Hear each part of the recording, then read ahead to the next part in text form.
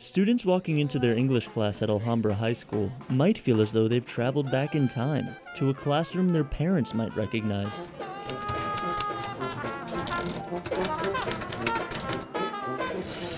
The room actually doubles as a computer lab, but with a nostalgic twist. What has students really excited here is some old technology, typewriters like this one, that students are using to help enhance the creative writing process.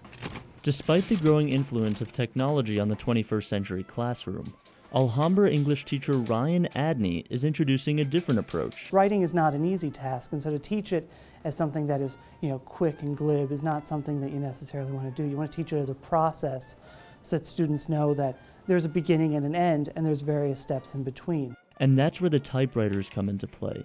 Students embark on the creative writing process without the assistance of automatic spell check they're encouraged to embrace learning by trial and error. It helps, you know, facilitate a, pr a procedural style of writing. Students enjoy the typewriters too.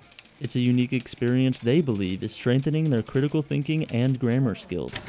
Well, using a typewriter to me is kind of like using a computer, eh, but it's like you don't have the big screen and you don't have the computer telling you when you spell a word wrong. You have to think about what you want to write before you write it and you have to think about how you spell things and the correct definition of things. By eliminating the countless distractions found online, the typewriter contributes to an educational environment that keeps students focused on the task at hand. As students pack up and leave, they finish with a little insight. The latest technology isn't always the best technology, and sometimes a gift from the past can be a good thing. Reporting for Know99, this is Jake Stein.